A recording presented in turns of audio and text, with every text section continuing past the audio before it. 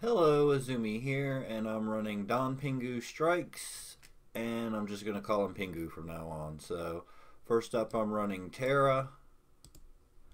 Um, you'll notice a theme with I'm trying to hit the back row with Earth gear as much as possible.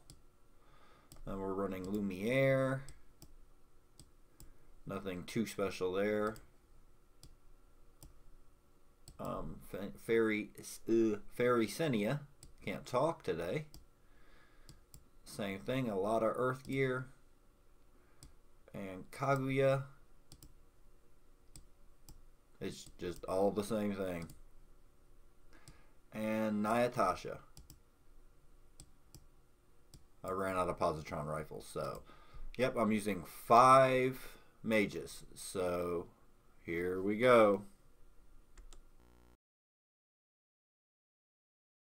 So Mr. Don Pingu is in the magic row and is Therian and is considered to be grounded. Um, the action skill is 60% water magic attack damage three times and water wound for three turns to one enemy each with the lowest defense and magic defense. The water wound only applies to Aesir, Elves, and Jotun. His auto skill would be water magic attack damage and freeze for three turns to all enemies in the connect. Freeze again only applies to Aesir, Elves, and Jotun, so stay clear of using those if you want to be not have to deal with those effects. And the S1 also has Aqua Field, but it's not the high Aqua Field, so you might be able to get by with just using the low rings or just good enough gear not to worry about it.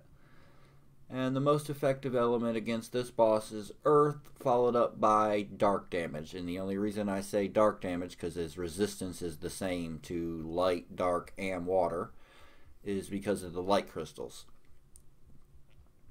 So, talking about the crystals, um, the Light Crystals do buff swipe for three turns to Don Pingu. And they hit the nearest enemy, which for me would be Terra, with powerful light magic attack damage. They also, on S1, have an absorption barrier to all allies for three turns against attack damage. So that's why I'm using five mages. It's just best to not use attack period in this fight for me. And then we have the water, which is the range row crystals in the back. They do water magic attack damage for to the three nearest enemies, and they inflict exhaust and corrupt for three turns to all enemies, and those two only apply to males. So, uh, unless you want to deal with those, you probably want to steer clear of using male characters in this fight. And on S1, the back crystals do water ma uh, ooh, water magic attack damage and skill gauge 10% down to three enemies with the lowest HP. And I cannot talk today. So as far as that goes, that's about um, all the info you need. Um, if you don't have any of these characters, you could probably get away with using Mirka, um, Nocturna, uh, Grandfelt isn't bad. Um, Rapunzel isn't a bad uh, healer for this. Um, the Bubble Blaster that I have, Sobel, is pretty good. I can make an all dwarf team. That would be funny. Um, of course, Summer Scion, uh, what's her name? Lust. I'm not trying to pronounce that. Mm.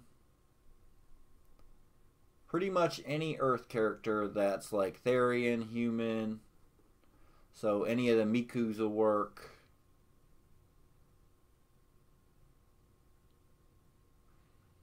Mm, that that's I, I don't find it to be too hard. I've mage tanked fights before, so it's not too bad.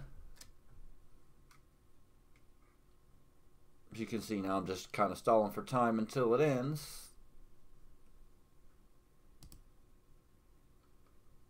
But yeah, I mean, just steer clear of using any kind of attack character. Use a bunch of earth magic attack characters, mix in a little bit of dark weapons to get rid of the uh, light crystals in the front and it should go down pretty easy. I have around a minute left most of the time.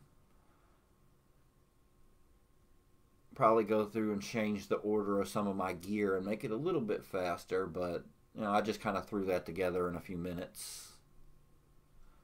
So we'll check out how much damage each character did here. And it's Kaguya, Senia, and Terra did the most. So that's it. Thank you for watching.